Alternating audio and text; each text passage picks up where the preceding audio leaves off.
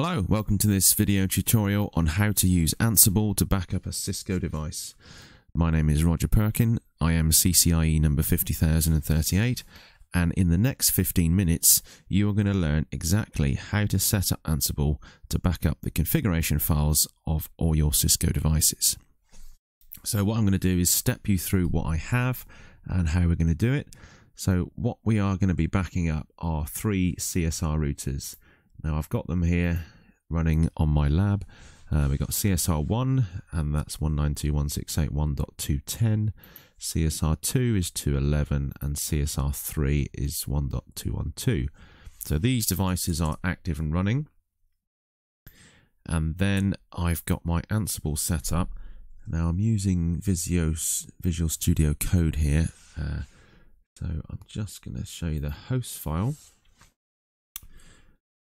So in my host file, I have defined three routers, CSR routers. So this is my group, the CSR-routers, and I've put in there CSR 1, 2, and 3.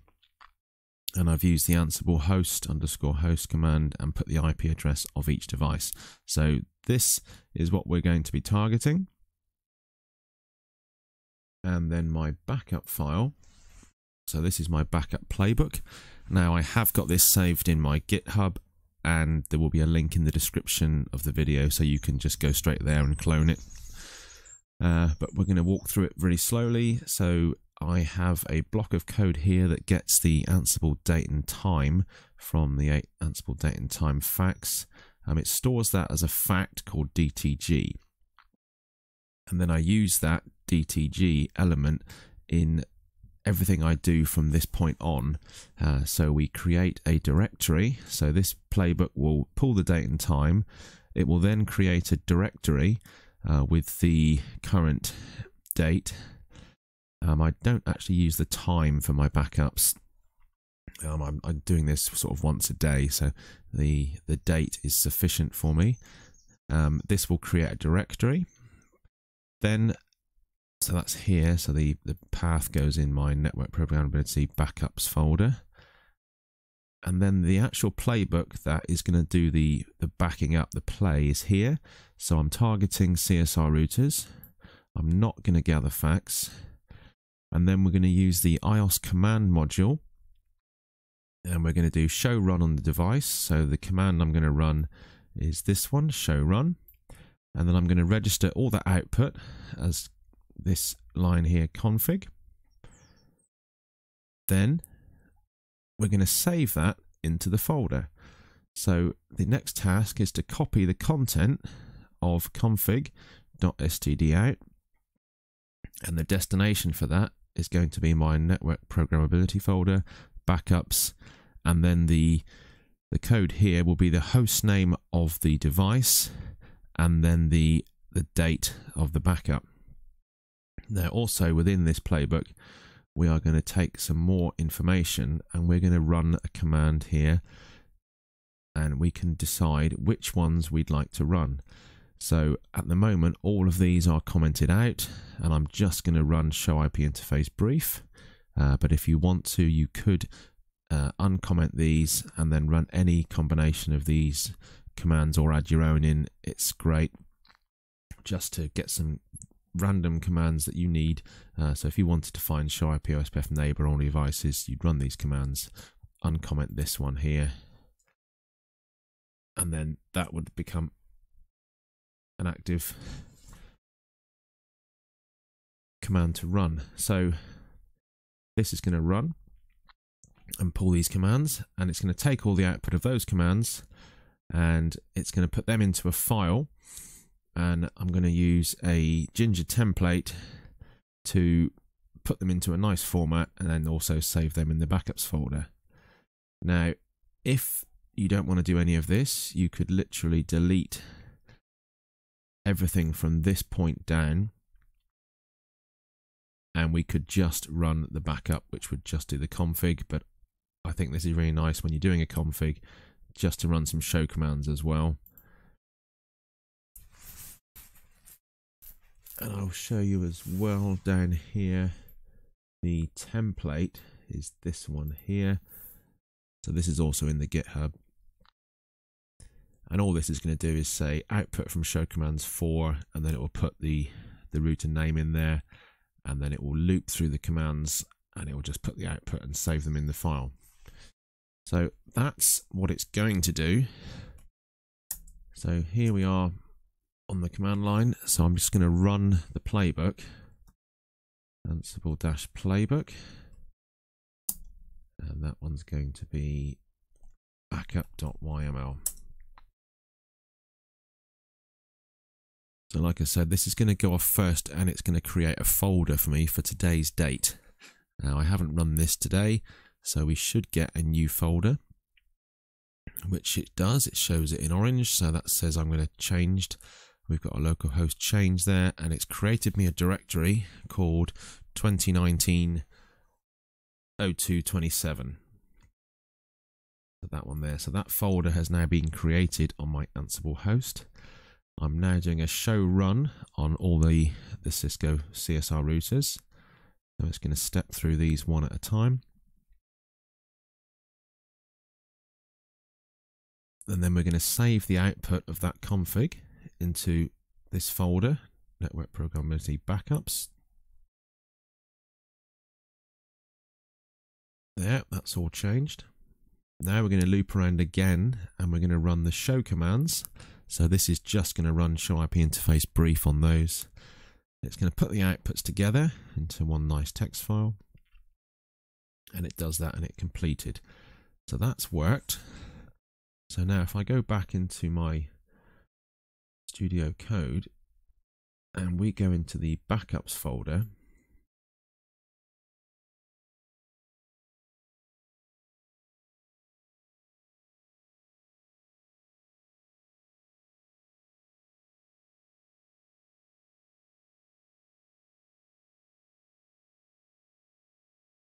this backups folder, sorry.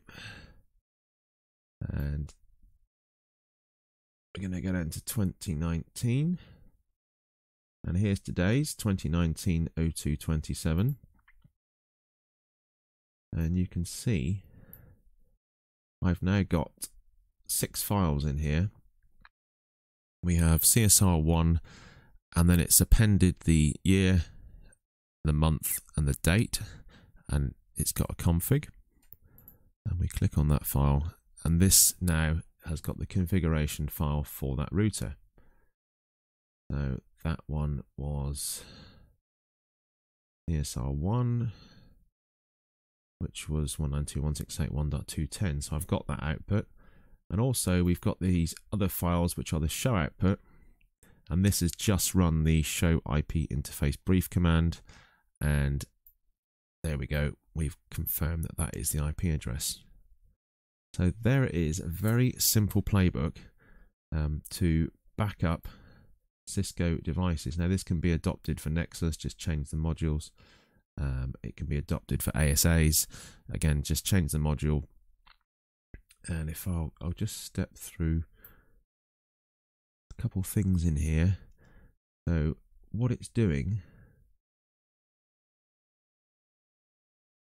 is very simple. Uh, this bit was just off the end here, but we run the show run and then we register that to config. So this word can be here, can be anything you like.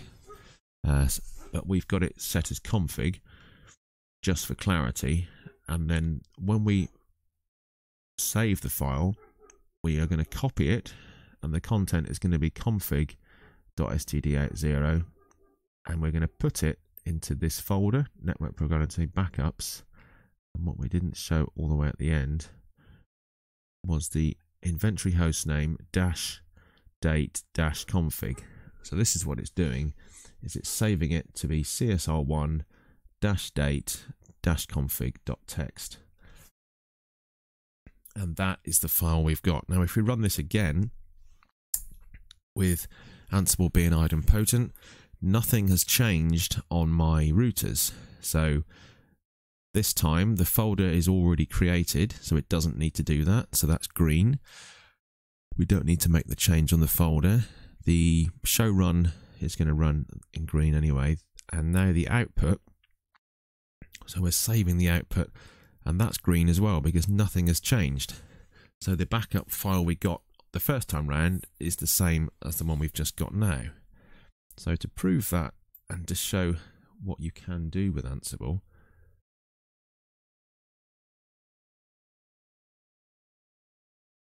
that one's there.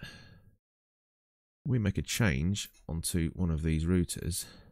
So let's just uh, connect into Roger at 92.168.1.210. So this is CSR1. So now on CSR1, if I make a change on this router,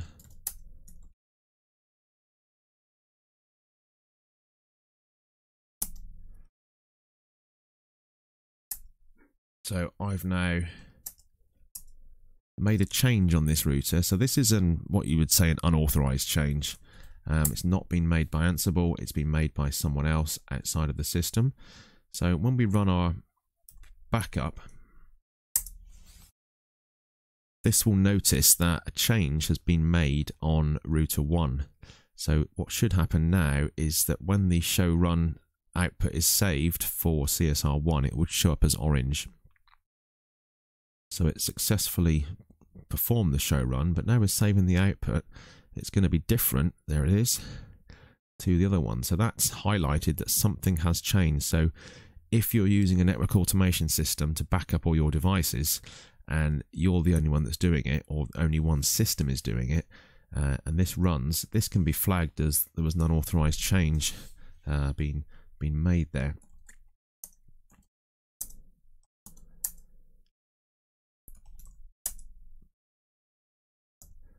There we can see we've got all my backup folders in here. 2019-02-27. There's all the outputs. Now these are not version controlled as such in every single change is being made. So this is just taking a daily backup. So every backup that gets run today in this system will just overwrite the current file um, and then tomorrow it will create a new folder and the new backups will be done. So it's not fully uh, version controlled system, but it's a great way just to get some snapshots of your backups. And I use this um, an awful lot uh, when I'm with clients and just to give me a, a point in time where I can just point, add all the devices into the host file, run this, grab all the configs and grab some a load of show outputs and we can review that at a later date. So I hope this has been of use to somebody. Um, as I said, the GitHub link to the playbook is in the description of the video. Um, if you've enjoyed this, then please subscribe. Just hit the subscribe button and you'll get notified of any new videos I do. Um, I also have an Ansible automation course. Uh, the link for that is also in the description. And I look forward to seeing you in the next video. Thank you.